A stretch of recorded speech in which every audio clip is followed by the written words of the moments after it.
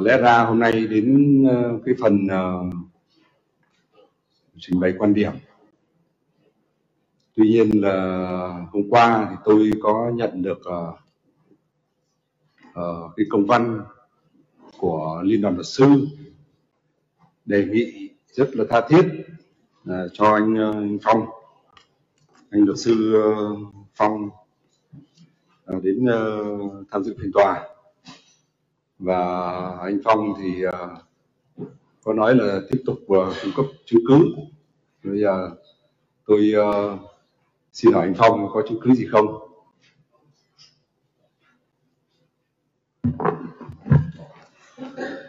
Thưa tòa tôi có hai hai vấn đề hai nội dung cung cấp. Thứ nhất là thông tin là thông tin tôi gặp các nhân chứng.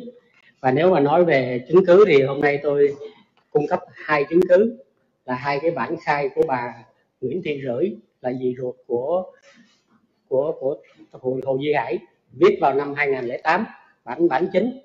Trong đó thì cái nội dung thứ nhất đó, là bà Rưỡi trình bày về cái việc là tại sao Hồ Duy Hải kháng cáo xin giảm giảm án mà không kêu oan. Và cái vấn đề này thì theo gia đình đó là xin giảm án. Và tôi kính đề nghị quý tòa là xem trong cái biên bản phiên tòa giám đốc thẩm thì sẽ thể hiện là bị cáo Hồ Duy Hải là nhiều lần kêu oan. Và trong cái lời cuối cùng thì có nói là đề nghị xem xét lại vụ án này. Đó là ý thứ nhất. Và cái chứng cứ thứ hai là là chiếc xe chiếc xe gắn máy của bà Nguyễn Thị Lưỡi. Thì theo cáo trạng thì Hồ Duy Hải đã đầu tiên là đi cái xe của của bà Lên, đi cái xe riêng lùn của bà Lên. Rồi sau đó về nhà đổi qua cái chiếc xe của bà Nguyễn Thị Rưỡi. Tuy nhiên bà Nguyễn Thị Rưỡi không ở tại cái nhà đó, mà bà Nguyễn Thị Rưỡi ở cái nhà cách đó là là khoảng mấy trăm mét. Cái nhà mà mà nói là để cái xe đó đó, thì bà Rưỡi nói là hàng ngày bà Rưỡi sáng bà Rưỡi có tới, có mẹ già ở đó. Nhưng mà thông thường thì khoảng 5 6 giờ chiều là bà Rưỡi đi về nhà bên mình. Bà Rưỡi không để lại cái xe xe xe gắn máy tại cái nhà mà mà của bà Len và và nhà của chị Loan cho nên cái khả năng mà Hồ Duy Hải sử dụng cái chiếc xe của bà Rưỡi là không có cao. Đó là là cái, theo cái lời bà Rưỡi và thứ hai là tôi cũng muốn muốn nói là theo cáo trạng, theo kết luận điều tra và theo ghi nhận trong bản án sơ thẩm thì cái chiếc xe của bà Nguyễn Thị Rưỡi, thứ nhất là nó có tới ba, bốn cái số, nó không có trùng khớp nhau. Và thứ hai là anh Đinh Vũ Thường cũng khẳng định là không có nhìn thấy cái cái cái số của chiếc xe trong cái đêm tối đó. Mà trong cái tờ giấy mà khi tôi gặp đó thì anh Thường cũng khẳng định là chắc chắn là em không nhìn thấy số. Nhưng mà trong cái bản khai thì lại có cái lời sửa là nhìn thấy cái cái biển số xe. Đó thì, đó là hai cái chứng cứ mà tôi muốn muốn nộp ngay ngay bây giờ.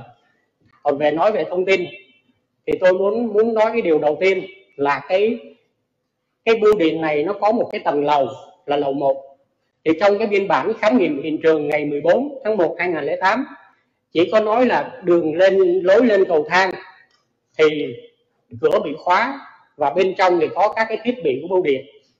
Thì vấn đề này, ngày hôm hôm kia tôi đã có gửi cho tòa cái mấy chục cái bản ảnh là khi đó tôi tới tôi chụp năm 2011 và tôi muốn nói hai ý xung quanh vấn đề này.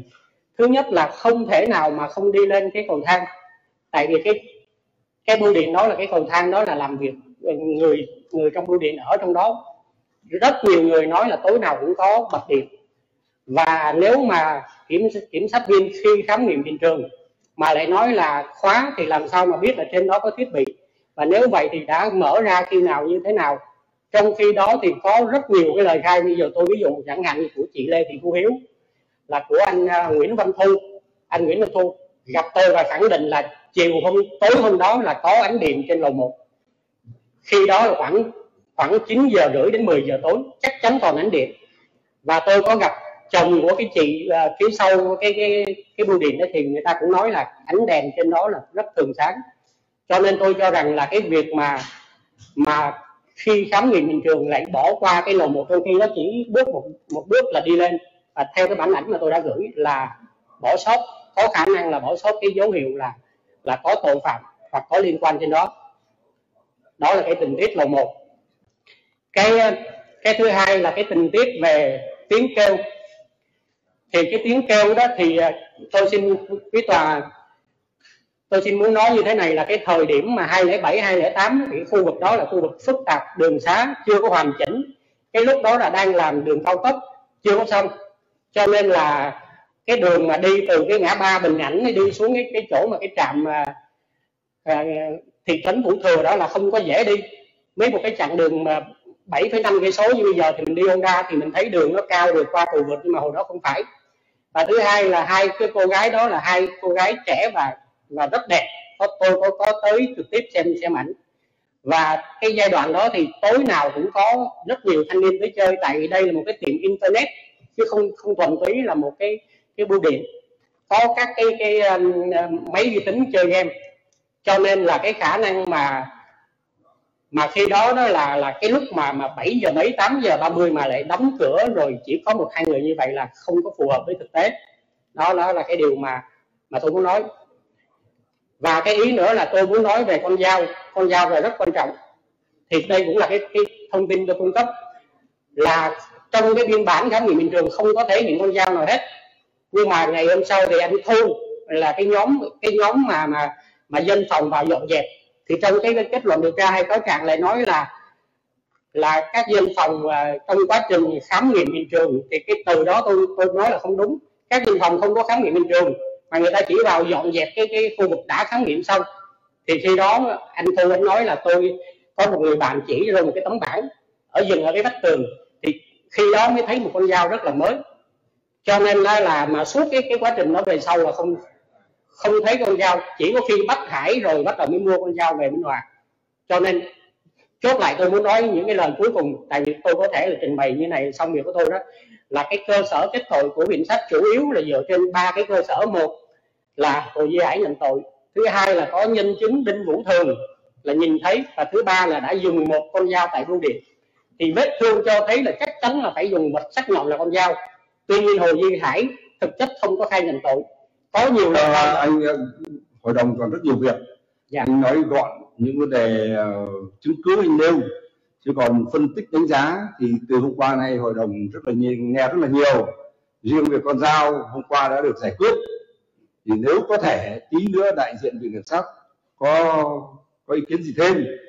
Còn cái thông tin về con dao á, thì tôi đề nghị là hôm qua là nói rất rõ tôi thì uh, sáng nay thì tôi cũng có đọc báo đọc báo chí người ta đăng rất là nhiều yeah.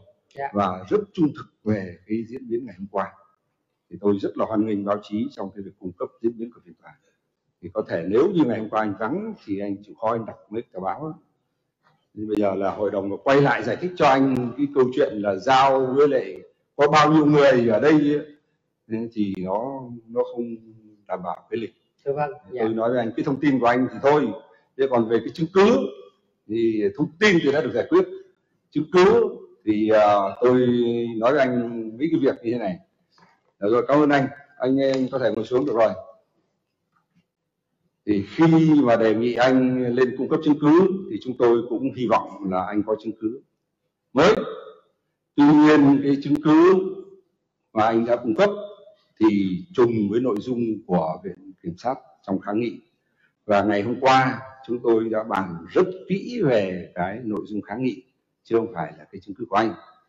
Anh cũng có đề nghị là cung cấp chứng cứ mới thì tôi cho cái bộ phận nghiệp vụ làm việc với anh chiều ngày hôm uh, hôm khai mạc ấy mùng 6 thì anh cung cấp hơn hai chục cái ảnh như thế này. Đây là cái tài liệu anh cung cấp. Thì chúng tôi thấy là không có thấy cái gì gọi là chứng cứ ở đây cả đây là cái ảnh anh chụp ở đây thì không tôi không hiểu là nó nói những cái chuyện gì. Thế thì uh, tôi bây giờ đề nghị ờ, đại diện viện kiểm sát ờ, phát biểu xem là đây có thể thư ký đưa cái, cái, cái tài liệu này cho viện kiểm sát tham khảo thêm xem có phải là chứng cứ mới mà ảnh hưởng đến cái vụ án hay không. Đấy là cái chứng cứ ngày hôm kia có thể là các anh chiếu luôn cả lên cho bà con người ta nhìn. Hơn hai chục cái ảnh. Bây giờ thư ký đọc và chiếu cái này lên xem có gì mới không? Đọc cái này chiếu cái này lên cái tài liệu. Ở vụ một chiếu lên. Ta làm công khai và không có gì, gì giấu giếm cả. Anh thông tin uh, cho các báo là hội đồng họp kín hội đồng họp kín đâu. Từ ông báo chí giật tít là tôi không nói vì là hội đồng họp kín. Thông tin là nó phải chính xác.